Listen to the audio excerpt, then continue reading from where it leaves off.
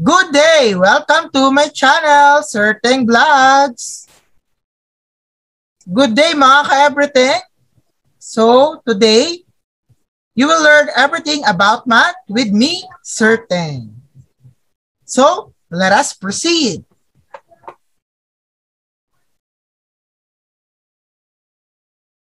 So, our lesson for today is all about the roots of quadratic equation. The subtopic is the sum and products of roots of the quadratic equation. Before we going to discuss our lesson, let's have the learning targets or the objectives. You, the student, will be able, able to characterize the roots of quadratic equation using the discriminant and describe the relationship between the coefficients and the roots of quadratic equation. Okay, let's have a review. Before we begin, let us review the nature of the roots of quadratic equation. If the discriminant or capital D is greater than zero and it is not a perfect square, there are two roots, real, irrational, and unequal. If the discriminant is greater than zero and it is a perfect square, there are two roots, real, rational, and unequal. If the discriminant is equivalent to zero, there is one root, real, rational, and equal. If the discriminant is less than zero, there are two imaginary roots or no real roots at all. Okay, let's have an example of this. So we have x squared minus 6x plus 9 is equal to 0. So be sure the quadratic equation is in standard form. So we have the quadratic term x squared, the linear term negative 6x, and the constant term, which is positive 9. Determine the values of a, b, and c. So a is 1, b is negative 6, and c is positive 9. Then our formula for finding the discriminant is the square of b minus the product of 4, A and C. So we have D is equivalent to B squared minus 4AC. So the value of B, which is negative 6 is squared minus 4 times 1, which is A, the value of A, times the value of C, which is 9. So negative 6 squared times itself, negative 6 times 6, the answer is 36. Then we have Negative 4 times 1 times 9, the answer is 36. So 36 is equal to 36. We have discriminant equals 0. Since the discriminant is equal to 0, the roots are real, equal, and rational. So let's proceed to our main idea or main topic for today. So we have the sum and product of roots. So other relations between roots of quadratic equations can be derived by adding and multiplying the roots. The sum of the roots of ax squared plus bx plus c is equal to 0 is negative b over a. the product of the roots of ax squared plus bx plus c is equal to 0 or the quadratic equation is c over a. If the solutions are denoted by s sub 1 and s sub 2, pwede naman pong r sub 1 and r sub 2. We have the roots or the solutions. Then negative b over a is the sum of the roots. C over A is the product of the roots. By substitution, we have the equation x squared minus the quantity of the sum of the roots s sub 1 and s sub 2 x plus the product of the roots s sub 1 times s sub 2 is equal to 0. So we have now the quadratic equation x squared minus times negative bax plus c times a is equal to 0. Okay, let's have an examples. For example, number 1, so we have to find the sum and the product of x squared plus 2x minus 8 is equal to 0. So the first step to do is to know or determine the values of A, B, and C. So A, we have 1 from the quadratic term. B is 2 from the linear term. And the constant term, which is negative 8, or the last term.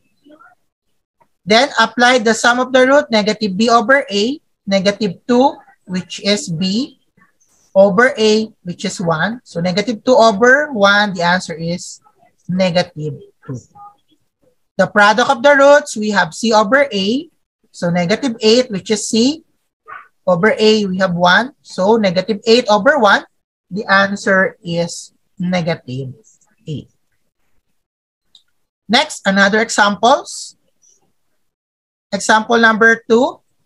So find the sum and product of the roots. So we have a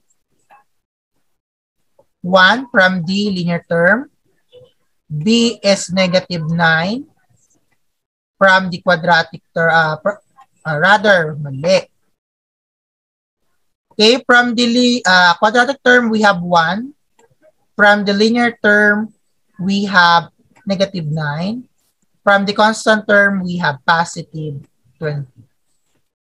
Formula for finding the sum is negative b over a.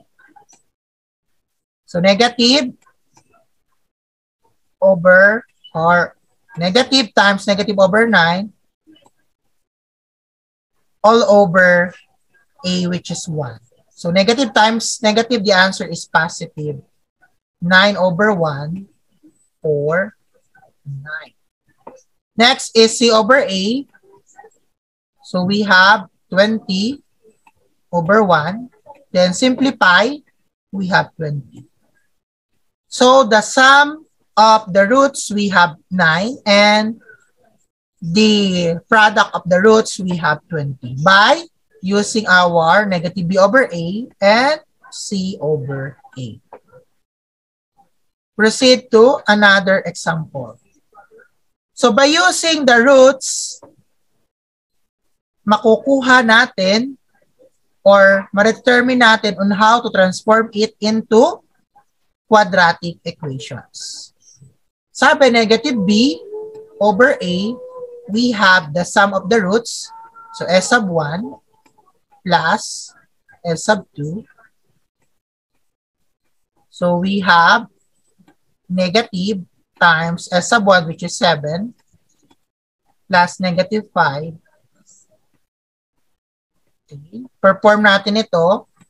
So, 7 plus negative 5, unlike sign, mataas ang 7, bawasan ng 5. The answer is negative times 2. Or, simply, we have negative 2 as the value of B. Then our value of A, we have 1. Kasi since negative B over A, so value of A is 1, B is negative 2. Then, hanapin naman natin ang value ng C by the product of the solutions. So, S sub 1 times S sub 2. So, we have 7 times negative 5. Unlike sign, the product will be negative. So 7 times negative 5, we have negative 35. So this is our value of C. From the standard form of equation, ax squared plus bx plus c is equal to 0. So the value of a is 1, we have x squared. The value of b is negative 2. So we have negative 2x. Then the value of c, we have negative 35. So minus 35 is equal to 0. So from the solutions, we come up to the standard form of quadratic equation, x squared minus 2x minus 35 is equal to 0. Okay, another example in transforming the solutions from or two quadratic equations.